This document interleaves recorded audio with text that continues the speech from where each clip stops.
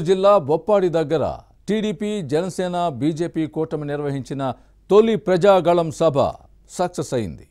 మూడు పార్టీల కేడర్లో జోష్ నింపింది. రెండు వేల పద్నాలుగులో కూటమి ఆవిర్భావ సభకు అధ్యక్షత వహించిన నేతే ఈసారి కూడా ఆ బాధ్యతలను నిర్వహించారు. దీంతో అప్పట్లో మాదిరిగానే ఇప్పుడు కూడా కూటమికి అధికారం ఖాయమనే ప్రచారం జరుగుతోంది. అలాగే అప్పుడు ఇప్పుడు అధ్యక్షత వహించిన నేత కూడా తన గెలుపు గ్యారంటీ అనే భామలలో ఉన్నారు. ఇంతకీ ఎవరా నేత?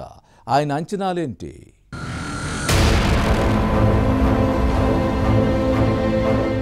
ఆంధ్రప్రదేశ్లో టీడీపీ జనసేన బీజేపీ కూటమి పొత్తు రాజకీయాలు ఫ్యాన్ పార్టీలో ప్రకంపాలను సృష్టిస్తున్నాయి. ఉమ్మడి గుంటూరు జిల్లా చిలుకలూరుపేట నియోజకవర్గంలో ఈ పార్టీలు నిర్వహించిన తొలి ప్రజాగళం సభ సక్సెస్ అయింది.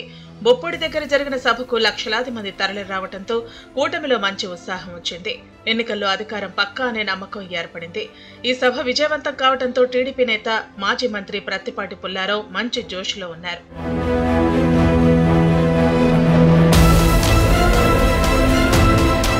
రెండు వేల పద్నాలుగు ఎన్నికల్లో ఇదే కూటమి అధికారం చేపట్టింది.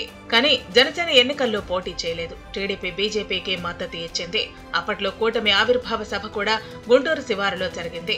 ఆ మీటింగ్కు టీడీపీ జిల్లా ప్రెసిడెంట్గా టీడీపీ నేత ప్రత్తిపాటి పుల్లారావు అధ్యక్షత వహించారు. దాదాపు పదేళ్ళ తర్వాత మళ్ళీ టీడీపీ జనసేన బీజేపీ కూటమిగా ఏర్పాటయ్యాయి. అప్పుడు ఇప్పుడు ఉమ్మడి గుంటూరు జిల్లాలోనే సభ జరగటం సెంటిమెంట్గా భావిస్తున్నారు.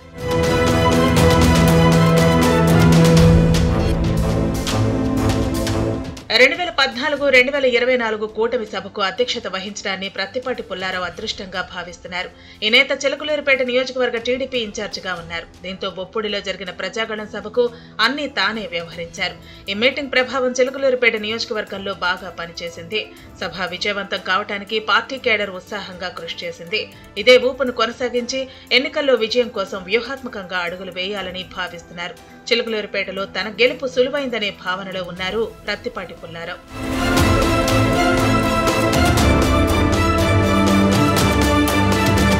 మరోవైపు ప్రజాగళం సభ సక్సెస్ కావడంతో అధికారం తమదేనని కూటమి నేతలు భావిస్తున్నారు. మూడు పార్టీల అగ్రనేతలు ఒకే వేదికపై నుంచి ప్రసంగించడం ద్వారా ప్రజల్లోకి సానుకూల సంకేతాలు వెళ్ళాయని భావిస్తున్నారు.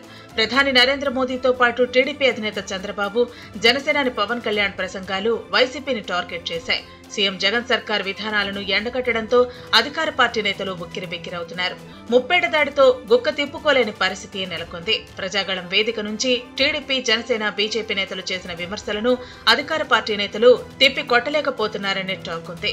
ఈ సభ కూటమికి కలిసి రావడంతో పాటు వ్యక్తిగతంగా తనకు ఎంతో మేలు చేసిందని ప్రత్తిపాటి పుల్లారావు భావిస్తున్నారు. రెండు వేల పద్నాలుగు తరహాలోనే ఈసారి కూడా తమ నేతకు మంత్రివర్గంలో స్థానం దక్కుతుందనే ఆశాభావంతో ఉన్నారు. రెండు వేల పద్నాలుగు ఎన్నికల సెంటిమెంట్ ఈసారి కూడా పనిచేస్తుందా అనే అంశానికి కాలమే సమాధానం చెప్పాలి మరి.